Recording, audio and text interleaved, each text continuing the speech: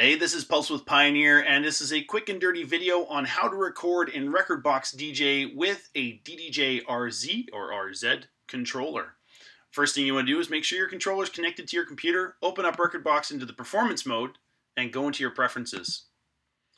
Click on the audio button and you'll see that the RZ should be selected as your audio device and that your output 1 and 2 are for the master, 3 and 4 for the headphones. These are your defaults.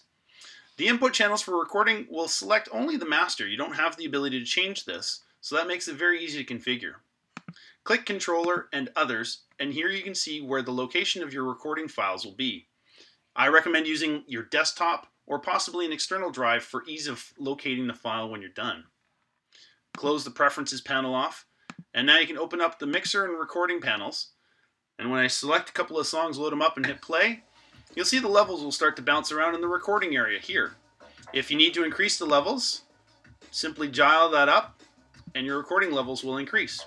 When you're satisfied and ready to start recording, hit the record button and your recording is started. It's as easy as that. As you adjust your levels up and down on your channels, you'll notice that the recording levels will also go up and down. If you have any other questions, hit us up in the forums, forums.pioneerdj.com. My name is Pulse.